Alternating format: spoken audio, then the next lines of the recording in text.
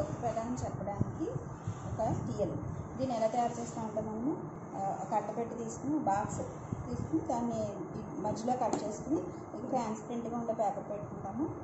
Next ఇలా ఇది move అవ్వడానికి వీలుగా ఇటుపక్క స్టిక్స్ తోటి రౌండ్గా తిరగడానికి ఇలా హోల్స్ చేసుకుని పెడతాం. ఫస్ట్ దీన్ని ఎలా యూజ్ చేయాలంటే మనము దావత్తు. ఇక్కడ వీళ్ళు పెడతారు కదా దావత్ అని వస్తుంది. ఇటు పెడితే దావత్ పదాలన్నీ కూడా ఇక్కడ కనిపిస్తూ ఉంటాయి అన్నమాట.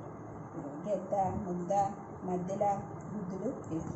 నెక్స్ట్ మళ్ళీ వేరే వద్దు. చెప్పాలంటే మళ్ళీ పైకి తీసుకు.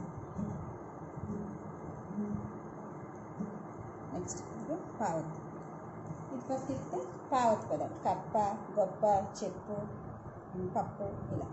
నెక్స్ట్ ఇలాగా ఏ అన్ని ఒత్తులు ఇలా రాసుకుంటే కనుక మనం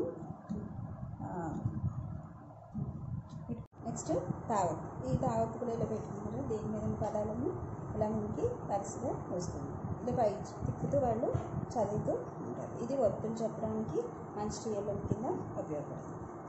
ఇది పాముకూర ఇది ఎలా ఇది ఎలా ఉపయోగిస్తామంటే మనము పాము కూర ఎలా ఊదాలి అని చెప్పడానికి మన లెసన్లో కూడా కొత్త టెక్స్ట్ బుక్లో కూడా మనకి లెసన్ ఉంది ఇంగ్లీష్లో.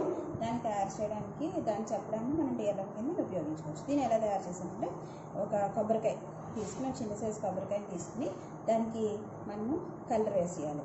కలర్ వేసుకుని నెక్స్ట్ దానికి ఏం చేయాలంటే ఇటుపక్క వెదురు పుల్ల తీసుకుని దీనికి అంటించాలి ఈ రెండింటికి కలిపి ఇక్కడ ఎంసీలతో అంటిస్తే ఇలా స్ట్రాంగ్గా ఉంటుందన్నమాట. ఇలా చేయడానికి ఇలా బోర బూర ఆకారంలోకి ఇలా ఊతూ అంటే ఇది పాంబూర అని చెప్పడానికి బాగుంటుంది. దాన్ని ఉపయోగించడానికి ఒక కొబ్బరికాయ ఒక వెదురు పుల్ల ఈ రెండింటితో కలిపి మనం ఇక్కడ కార్డ్బోర్డ్ అయినా పెట్టుకోవచ్చు.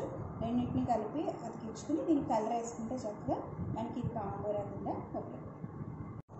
ఇవి మినీ బియ్యం బస్తాలు. వీటిని బియ్యం బస్తాలు మనకు అని చెప్పడానికి ఇది ఎలా తయారు చేసుకోవచ్చు అంటే మోడల్ కింద బియ్యం బస్తా సంచి ఉంటుంది కదా ఆ బస్తాను మనం చిన్న చిన్న కట్ చేసుకుని ఇలా చిన్న చిన్న బస్తాల కింద కుట్టించుకుని దీంట్లో ఊక పెట్టుకుంటాం.